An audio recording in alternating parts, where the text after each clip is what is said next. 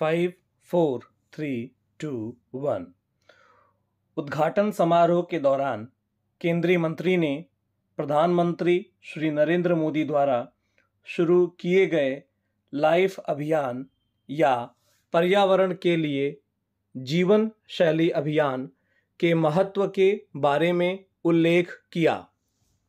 उन्होंने व्यक्तियों और समुदायों से पर्यावरण की रक्षा और संरक्षण के लिए संसाधनों के सावधानी पूर्वक और सोच समझकर उपयोग की दिशा में एक अंतर्राष्ट्रीय जन आंदोलन बनाने का आग्रह किया।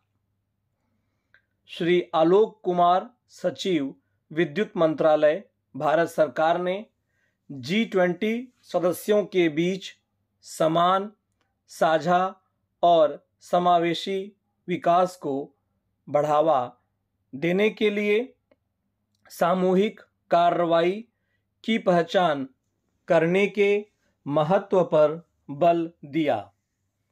उन्होंने सदस्य देशों से स्वच्छ ऊर्जा स्रोतों को अपनाने के लिए सहयोग करने और आपसी विश्वास की भावना का निर्माण करने का आग्रह किया।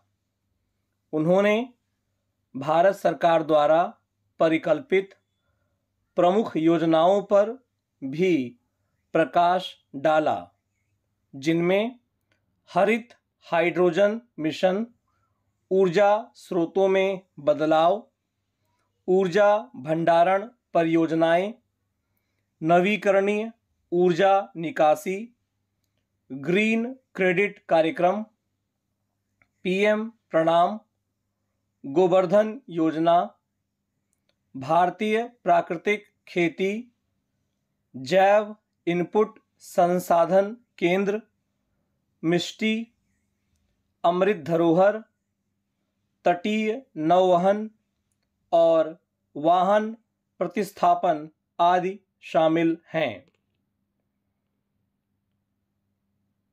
छह प्राथमिकता वाले क्षेत्रों पर बैठक में ध्यान केंद्रित किया जाएगा, जिनमें शामिल हैं प्रौद्योगिकी की कमियों को दूर करते हुए ऊर्जा स्रोतों में बदलाव, ऊर्जा स्रोतों में बदलाव के लिए कम लागत पर वित्त पोषण, ऊर्जा सुरक्षा और विविध आपूर्ति श्रृंखला, ऊर्जा दक्षता, औद्योगिक कार्बन में कमी करने की दिशा में बदलाव, ज़िम्मेदारी के साथ खपत, भविष्य के लिए ईंधन, स्वच्छ ऊर्जा तक सार्वभौमिक पहुँच और ऊर्जा स्रोतों में बदलाव के लिए न्याय संगत किफ़ायती तथा समावेशी उपाय।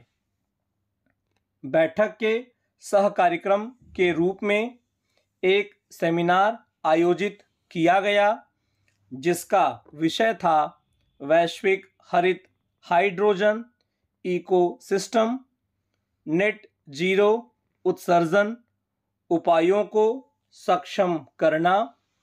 दूसरी ईटीडब्ल्यूजी बैठक के हिस्से के रूप में प्रतिनिधियों ने गांधीनगर में गिफ्ट सिटी का भी दौरा किया।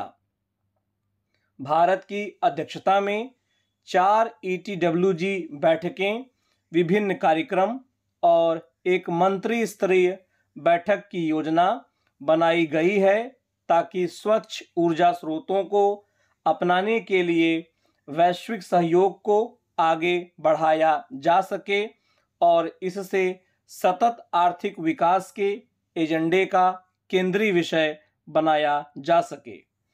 भारतीय अध्यक्षता के तहत इस साल जी ट्वेंटी बैठकें भारत में आयोजित की जा रही हैं।